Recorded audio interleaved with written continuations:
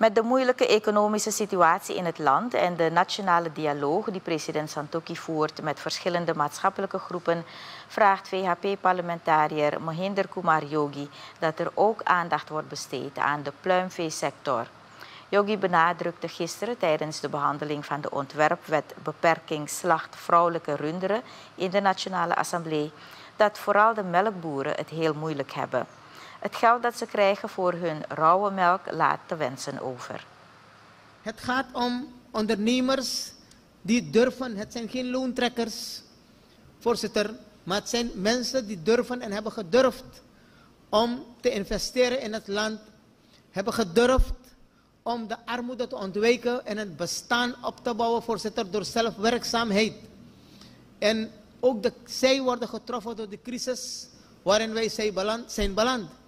Maar wat is de helpende hand? Bij de behandeling hier van de wet BTW heb ik uitdrukkelijk gevraagd, voorzitter, laten we alle gebruiksgoederen die nodig zijn voor die agrarische sector, voorzitter, en daarin begrijp ik ook die veeteelsector, die pluimveesector, laten we al die gebruiksgoederen vrijstellen van heffing van de BTW.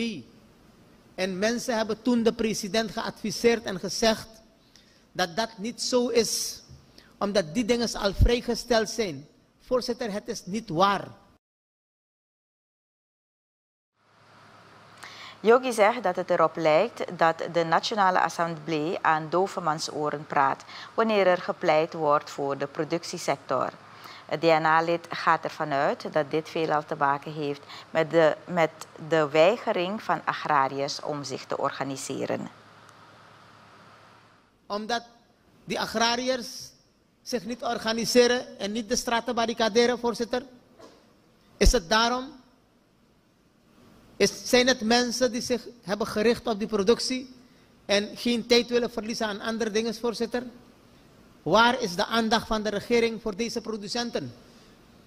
Wanneer loontrekkers in actie komen, worden belastingschijven in het parlement anders geregeld. Wordt de wet op de loonbelasting gewijzigd? Wordt de wet op de inkomstenbelasting gewijzigd? Voorzitter, waar is de bijdrage die de staat Suriname levert voor deze groep producenten en waar ze ook zitten in het land, voorzitter? Ik denk dat zij ook recht hebben op die ondersteuning.